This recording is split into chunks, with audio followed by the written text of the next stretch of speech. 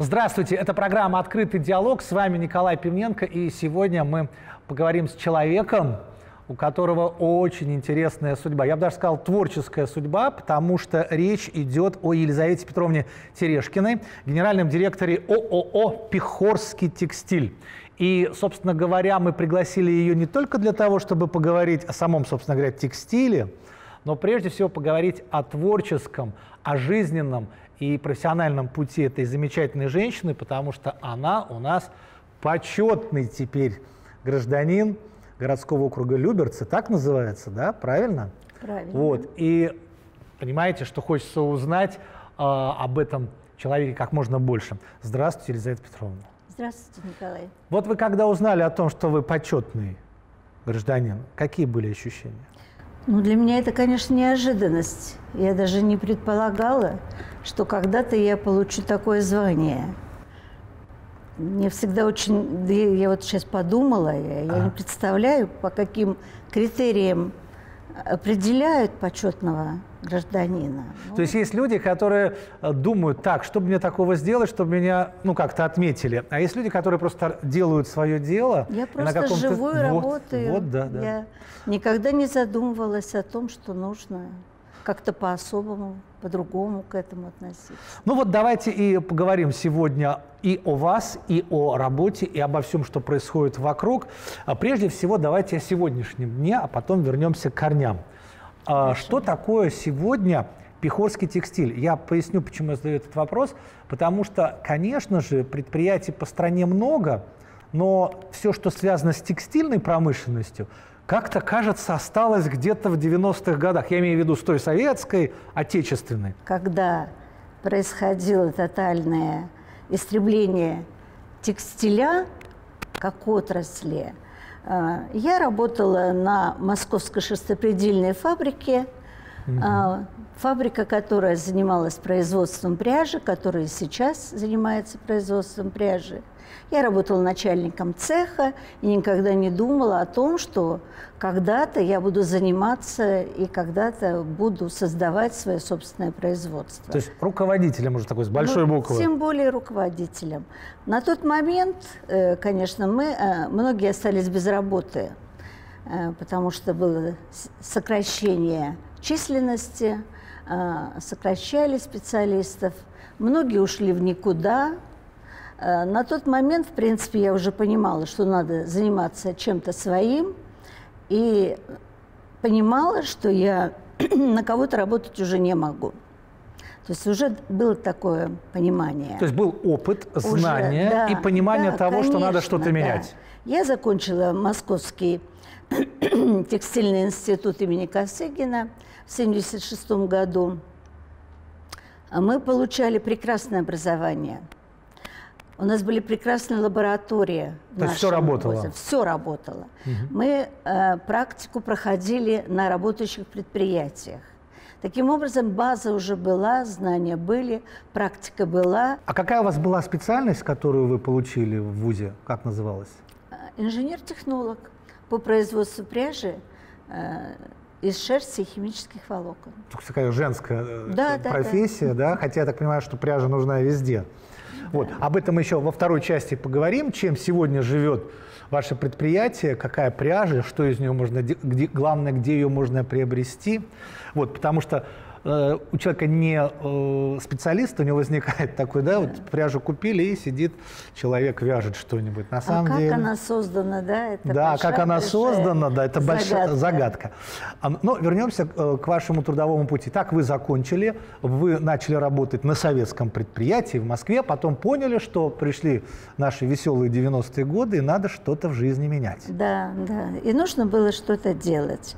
И сначала я начала заниматься э, производством трикотажных изделий. Тоже такое советское, на самом деле, Почему можно изделие. было э, именно, почему за это? Потому что это предприятие можно создать, вкладывая минимум денег. Собственно говоря, средств-то не было. Э, Ну, были заемные средства.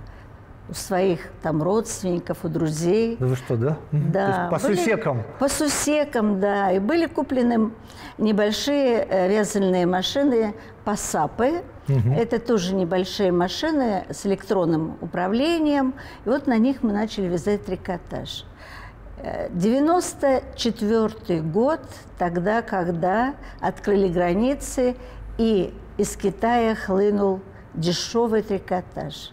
Это уже был, как говорится, поставлен на нас крест, потому что наши изделия, себестоимость, стоимость сырья, плюс стоимость работы, и они были дорогими. Угу. И вот в тот момент мы приняли решение, что нужно с этим делом заканчивать. Так. Отвезли все это в церковь, и э, вот тогда было принято решение начать все-таки создавать производство пряжи именно промышленно. Ну, то есть как бы сырье, основе. да, производить? Да, да, а. не сырье, а пряжу. Сырье есть. Сырье ну, это шерсть. Да, сырье, а переходный а этап между... Переход, да, да, да, да. Один только вопрос. А почему в церковь? Ну, потому что, э, понимаете, я думаю, что это какое-то внутреннее такое вот было желание. Mm. Да, закончить с этим этот этап, mm. остановиться, потому что уже вязание шло в никуда. А и... товары из Китая да, все, все поступали, все поступали. поступали, да. А Сначала... пряжи на рынке не было. Да. Как таковой пряжи не было. Уже эм, такой внутренний мониторинг был проведен. Э, опрос такой, ну, мы сами все что это нужно, с коллегами, да. да, что нужно. Угу. Нужно было понять, что же выпускать для того, чтобы это покупалось. Иначе нечего было заниматься, если, предположим, товар выпущенный, и он бы не реализован. Ну, чтобы был и спрос, и предложение, и все на свете. И, да. конечно же, что и деньги. нужен что? Оборот. Оборот, Оборот да, нужен. да. Вот что основное.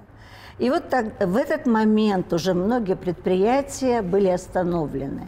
Это Фриановская фабрика, это Краснохунский комбинат, это Краснодарский комбинат, это Екатеринбург, это Брянск. Ну, я могу много городов ну, Это назвать. все такие предприятия это крупные? большие, это угу. комбинаты. Угу. Комбинаты, которые снабжали э, Страну. весь Советский Союз. Угу. И в этот момент можно было оборудование купить по цене металлома. Металл строил, ага. стоил совершенно недорого. Тогда те деньги, которые были получены от продажи оборудования трикотажного и плюс еще заемные средства, мы потратили вот на оборудование. Очень хорошо. Но нужно было куда-то ставить. Да, место. Да, место. И вот тогда, а я житель поселка Томилина. Так. Ну, то есть я вот люберчанка. Нас... Да. Я люберчанка, и таким образом а, где дома. искать надо рядышком, дома, дома. конечно. В этот момент Пехорская фабрика, что на красивом пригорке около речки Пехорка, угу. почему Пехорский текстиль мы называемся, а, она уже тоже остановилась. Цеха были заброшены, а, моль летала большими такими вот стаями, Прям кино. Да, кино, кино, страшное кино. Тогда, когда я вошла, да, мне было страшно. Я решила, что мы не потянем. Потом, значит, все-таки, когда отступать тебе некуда, угу. за тобой Москва, что делать? В прямом смысле, да, Что делать? Так. И так потихонечку 400 первых метров квадратных мы взяли в аренду. Угу. Арендодатель тоже человек, как говорится, ну, получил эту фабрику, а с ней сладу не знает, что сделать. Таким образом мы начали потихоньку осваивать метр за метром. Оборудование покупали, ну, в то время, что такое прядельная машина, стоила миллион, да? Угу. Мне трудно на сегодняшние деньги перевести, но, может быть, это стоило 50 тысяч рублей. Угу. Может быть, вот так вот. Такие вот. А, люди тоже были без работы. И тоже нам помогали, и ставили это оборудование, и тоже за копейки. Таким образом, была первая цепочка поставлена до Э, значит, от сырья. Сырье мы брали на Троицкой комвольной фабрике, это гребенная лента. Mm-hmm. Фабрика эта работала и до сего момента работает. Они выпускали гребенную ленту, мы у них гребенную ленту эту покупали и из нее вырабатывали пряжу. Направление было сначала одно – это производство пряжи для ручного вязания. Вот, вот это когда образом, бабушки. Да, когда спицами. Бабушка когда, и кот обязательно да, рядом. и крючочками да, там, да, да. и клубочки должны mm-hmm. лежать обязательно. И главное, чтобы это все было разноцветное, Красиво. чтобы это красивое, чтобы это привлекало взгляд. Вот таким вот образом мы начали первый килограмм выпускать. Mm-hmm. Это был 95-й год, ноябрь 95-го года. Ну, естественно, уже задачи были поставлены более такие глобальные. В каком плане? В том плане, что нужно было разработать ассортиментный ряд, а, нужно было изучить спрос прежде всего – а на тот момент, вот э, в наше время, советское время, да, было два артикула. Был артикул, значит, э, пряжа по 5 рублей, да, и пряжа была по 3 рубля. Ну, вот Прям все... как в известном анекдоте, да? Да, вот все это как вот э, так и было. Вы начали расширять ассортимент. Да, конечно. И первое, с чего, это мы начали искать, что нужно людям, что они хотят приобрести. Сегодня у нас 100 артикулов. 100? 100 артикулов, да, на любой вкус, э, на запах, Даже на так? цвет. Конечно, шерсть же пахнет. Мы выпускаем сегодня пряжу и из верблюжьей шерсти, мы выпускаем пряжу из ангоры, мы выпускаем пряжу из альпака, из шерсти, естественно. Все это с химическим волокном, полиакрилнитрильными, поскольку они шерстоподобные, придают определенную мягкость, если более грубые волокна там используются. И мы выпускаем самую обычную пряжу, чисто шерстяную, ту, которую э, выпредали наши бабушки, скудели. Когда овцу стригли, ага. сами ее э, мыли, промывали эту шерсть, затем ее трепали, э, значит, сворачивали в определенную такую, значит, вот э, э, так форму. называемую форму, да, и на обычную, э, значит, э, сажали и прялкой выпредали, значит, эту То есть ручная работа? Это была ручная работа. Эти традиционные носки деревенские, да, угу. они до сего момента востребованы. И, и вы... есть у вас такая пряжа? Да, мы выработали пряжу. У нас название очень интересное. Вот эта пряжа «Деревенька», она очень востребована. У нас есть пряжа «Деревенская», вроде бы так, а одновременно разные. Есть у нас пряжа овечья, есть у нас пряжа теплый носок. Это все из той серии, что э, это традиционное. Домашнее, семейное, родное. Да, да, можно связать и безрукавку, mm особенно для дальнобойщиков. Ну, под такую э, фланелевую, на фланелевую рубашку. mm Это очень комфортно, тепло и еще ко всему это лечебное, поскольку тепло натуральное. Но я помню, что вот эти э, фантастические слова, еще когда я был маленький, мама же возила меня в магазины, чтобы что-то купить большому толстому мальчику. И вот эти вот шерсть, трикотаж, это звучало как что-то а такое что фантастическое, потому да, что, да, да, там очередь, там очередь и так далее. Не знали мы, что придет время, когда мы будем читать все, что угодно, кроме этих слов. Но еще о вашей продукции, о том, о будущем и что происходит, мы поговорим во второй части программы. А сейчас сделаем небольшой перерыв. Напомню, что у нас Елизавета Петровна Терешкина, генеральный директор Пихорского текстиля и человек, который теперь имеет почетное звание. Звание, которое так и звучит, собственно говоря, почетный гражданин городского округа Люберцы. Дождитесь.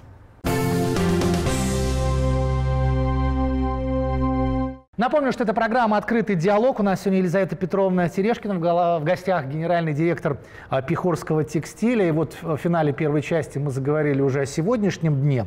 И чуть позже я хотел бы продолжить эту тему, потому что 100, вот я уж не знаю, где тут правильно ударение ставить, эти профессиональные слова артикулов или артикулов, но мы поговорим еще о том, э, какие планы на будущее, но я хотел вернуться к вам как э, к человеку творческому. Откуда у вас такая коммерческая жилка?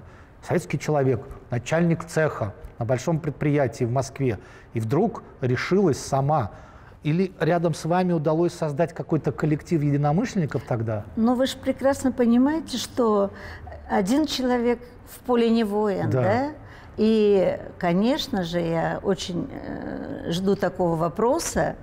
Почему? Потому что для меня моя команда это Люди. все. Угу. Люди это основное. А, вот мы начинали производство, нас было семь человек. Угу. Эти семь человек так и работают. Да. Семи, великолепная семерка. Да, великолепная да. семерка. Семь это мое Ну, это знаковое. счастливое число. Да, это знаковое число, которое я везде э, представляю. Угу. Так что у нас было семь, а сегодня у нас уже более 250 человек, поэтому... И все женщины, я так понимаю? Да нет. Или попадаются? Нет, не то, что попадаются. А как же, обслуживать оборудование кто должен? Ну, это да, да, да. Это прежде всего у меня главный инженер, мужчина, зам главного инженера мужчина. Мы самые такие трудные, как я говорю, железяки, все отдаем мужчинам. И, и они... правим. Ну, да. вы же Елизавета а Петровна, Елизавета Петровна, императрица, все правильно. Да, мы правильно. То есть люди да. это ваш капитал. Эти да, человек конечно. работают до сих пор. Да. А как вы набирали? Э, почему? Потому что сейчас везде звучит рабочие места, рабочие места. Вот ну, я думаю, что это вот как раз основное э, для того, чтобы стабильно работало предприятие. Это прежде всего должен быть стабильно работающий коллектив. Угу. Это должен прежде всего управленческий состав. Вот для того, чтобы 7 человек, понятно, на них уже 250 человек не удержится, э, мы формировали э, людей сами и обучали тоже. От фабрики направляли так. в текстильный институт, и они получали у нас образование. Даже ну, заочно, так? конечно. Молодцы. Все наши кадры, если вы сейчас придете на фабрику, вы увидите молодой коллектив – Самое старое – это вот я не буду говорить кто, да, но тем не менее, тем не менее, нас небольшое количество Скажем так, таких опытная, людей. Опытная, опытная, да, опытная и возрастная. Так что вот, э, а все это молодежь. Молодежь э, чуть не, немного за 30, главному инженеру немного за 40, и тоже закончил наш так, текстильный институт, это Викторов Александр Геннадьевич. Угу. У меня прекрасный коммерческий директор Шапеева Елена Александровна, Александровна, которая возглавляет коммерческий отдел, и они, четыре человека, продают всю буквально пряжу нашу. Успешно Елена Александровна вообще со мной пришла, э, с 17 лет работает. Можете mm. сегодня представить, и мы работаем здесь уже много лет. В общем, золотой коллектив, золотое руководство, и такой сразу возникает вопрос, возвращаясь к теме Китая и другой э, импортной продукции. Mm вот. Помните еще такое советское слово «экспорт», «импортные». Mm-hmm. Вот.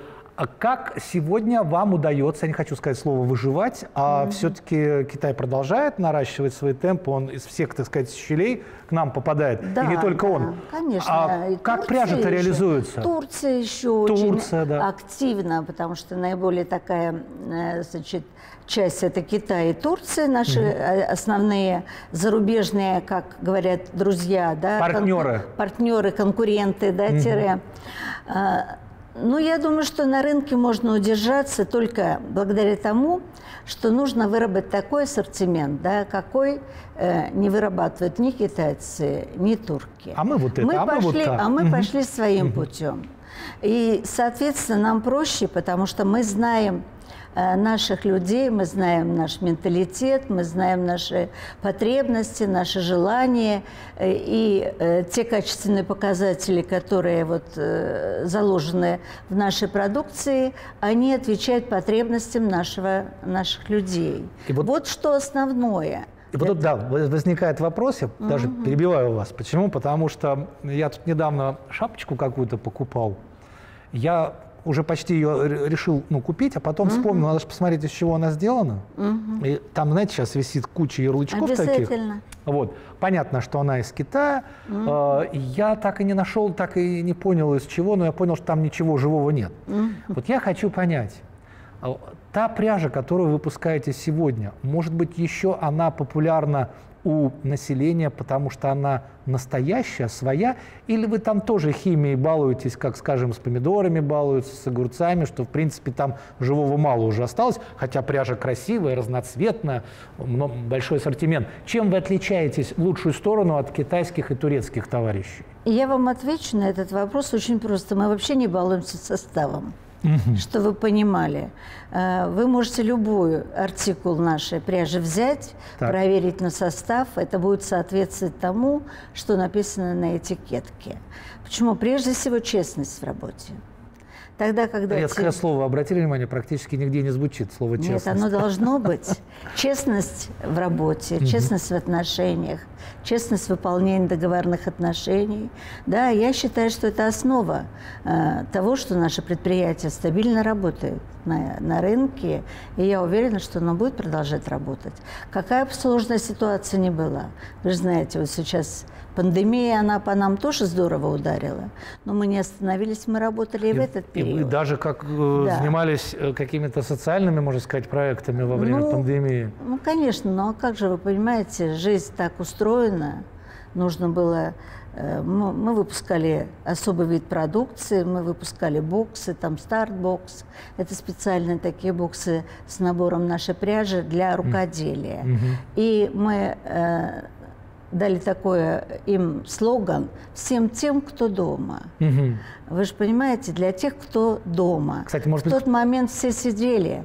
Ведь Кто-то, были... может, и научился да, вязать в этот да. момент благодаря старт, вам. Стартбокс – это то, что вот начало, старт. Старт. Затем был профи-бокс. Это те, кто умеет работать.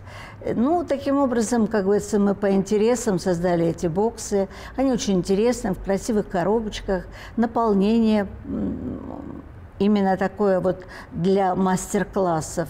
А вот вы ставили эту задачу все-таки как-то для того, чтобы реализовать какой-то новый вариант продукции, или все-таки думали о том, что как-то людям помочь выдержать Мы, это? конечно, эти свои боксы направляли и многодетным семьям, потому что нужно было деток чем-то занять. Это сложное mm-hmm. время, когда все дети дома. Да. А, мы направляли в больницы, мы направляли э, эти боксы инвалидам.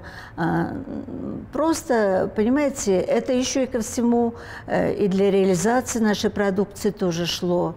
Ну, я думаю, что в комплексе это неплохая была такая вот но сегодня это как бы уже, может быть, не настолько актуально, да? Но, Но тем не менее, тем не менее, это все осталось. Это осталось в нашем ассортиментном ряду, и, соответственно, это имеет место. Ну, то есть такой гибкий подход и еще с таким социальным уклоном, что можно, э, ну, например, да, я не конечно. знаю, вдруг зима такая наступит, знаете, э, там на три, на, три месяца прям зима, значит, будем делать варежки, все как по, ну, ну вот специальные, вернее, пряжу да, для варежек. Да, естественно естественно, у нас есть э, такое направление, как теплый носок. Угу.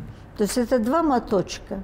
Так. Достаточно для того, чтобы связать носочки. Ой, какая прелесть. Эти, э, этот э, пакетик заложены, заложены еще крючочки, там спицы и так далее. Пожалуйста, ты можешь учить и инструкции, как связать эти носочки. Но это тоже, понимаете, это и маркетинговый ход. Я уж как вот говорю, это одновременно и социальная тоже такая направленность. Вот я, хочу... я думаю, что это тоже да, имеет место. Поддерживая вот это направление о творческих планах, как о них не поговорить, э, сегодня есть такое ощущение, возвращаясь к искусственным помидорам и огурцам, так назовем, mm. есть ощущение, что э, все-таки научно-технический прогресс не стоит на месте, да, и он э, ищет способы, ну, вот я даже не знаю, что на мне сейчас э, реально, я имею в виду из одежды, да, то, что называется ну, настоящим да, материалом уж, как, как назвать это. Хочется да? вернуться к самобытности, вот, я да. думаю, что а, да. Вот э, считаешь, там 100% акрил, 100% там э, полиэстерол. Э, вроде как симпатично, все, красивые надписи, но ты где-то внутренне понимаешь, что это как-то небезопасно. А молодежь-то с удовольствием покупает. Вот есть у вас, как у специалиста, я спрашиваю, да, опасения того, что вся эта настоящая реальная одежда идет в прошлое. Тут надо еще не забывать, если речь идет о шерсти, прозвучало слово овца, животный мир, еще некоторые люди борются за животных в том числе, хотя вы их не убиваете, а стрижете, скажем да, так. Да, конечно. Да? Вот как, вы не переживаете, что э, химия победит? Вы знаете, вот я не переживаю. Я объясню. Угу. Может быть, потребление будет меньше – поскольку э, как с избранниками э, потреблять натуральные волокна не все будут, потому что молодежь как бы на это не обращает внимания, с вами согласна, да? Э, но э, как вот э, нужны были они теплые носки, да? Нужны. Так они останутся. У нас страна-то какая? Все-таки она у нас северная страна. Пусть хоть и жаркое лето было, да, но впереди зима грядет. И хотите или не хотите, нужен теплый плед – нужно теплый э, шаль какую-то. А там да? и валенки, может Вален... быть, понадобятся, и валенки, красивые какие-нибудь. Все, да, их делают у нас, молодцы, пимакаты еще угу. не ушли, как говорится, э, с нашей, от нашей промышленности.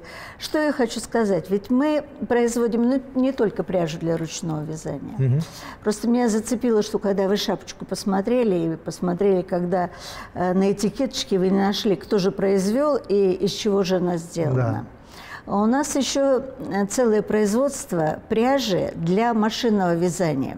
Угу. То есть мы работаем еще на промышленность, чтобы вы понимали. Ну, это уже масштабы. Да, мы работаем на промышленность, и наши трикотажники, мы им вырабатываем целые коллекции специально в цветовом ряде, в номерном ряде. Угу. У них у каждого есть э, свой ассортиментный ряд, с которым они выходят на выставки и реализуют своим тоже дилерам и потребителям. И самое последнее, что бы вы посоветовали людям, вот такой интересный вопрос, ведь чтобы стать почетным гражданином в таком э, важнейшем городском округе, которым являются наши Люберцы, где ну, много чем можно заниматься, что вы посоветовали людям?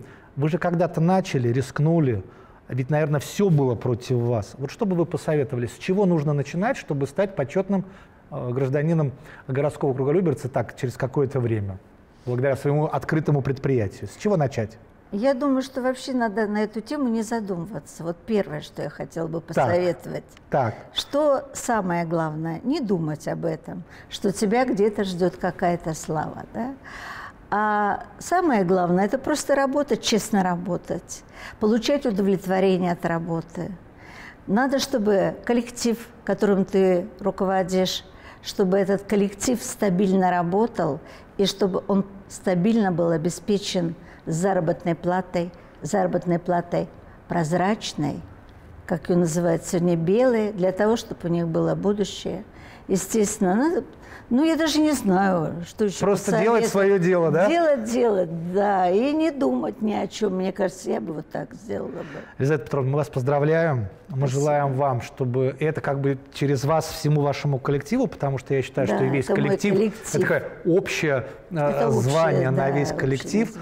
Теперь будем искать вашу пряжу, да, и, и те изделия, которые из нее сделаны, потому что как бы там чего ни говорили, я не знаю, может быть, опять же менталитет, но когда видишь что-то наше, там, родное, российское, да, написано, вот как-то больше доверяешь в плане одежды, да? Правильно, есть, да. Есть товары, которым меньше доверяешь. А вот все, что касается э, вот этих вот текстильных дел, мне кажется, наши ближе. Своя рубашка же ближе к телу. Конечно, конечно. Спасибо огромное. Елизавета Спасибо. Петровна Терешкина, генеральный директор Пехорского текстиля, как мы выяснили, который не просто работает, а имеет 100 вариантов пряжи. Вы можете выбрать. Мало того, вы можете что-то приобрести и научиться вязать. Причем сейчас у нас и мужчины вяжут тоже, да? Конечно. Конечно, легко. Вы же, наверное, олимпийцев видели? Да, да. Это прям вообще бомба. Да. Итак, Елизавета Петровна, почетный гражданин городского округа Люберцы, с чем мы ее еще раз поздравляем. И желаем вам всем всего самого доброго. И помните, надо делать свое дело. Всего доброго, до свидания.